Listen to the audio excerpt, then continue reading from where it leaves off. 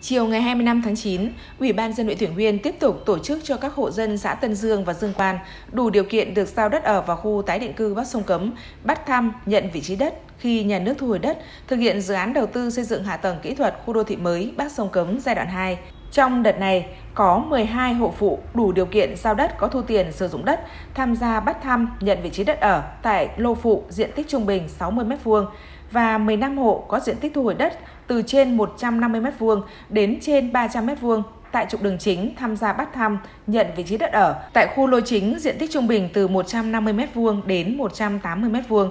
Việc tổ chức bắt thăm nhận vị trí đất ở tại khu tái định cư đối với các hộ dân có đất bị thu hồi để thực hiện dự án đầu tư xây dựng hạ tầng kỹ thuật khu đô thị mới Bắc Sông Cấm giai đoạn 2, đảm bảo nghiêm túc theo đúng các quy định của pháp luật, công bằng, công khai và minh bạch. Ngay sau khi các hộ dân bắt thăm, các phòng ban chuyên môn của huyện sẽ nhanh chóng hoàn thiện hồ sơ để cấp giấy chứng nhận quyền sử dụng đất ở cho các hộ dân, đảm bảo theo đúng quy định của pháp luật.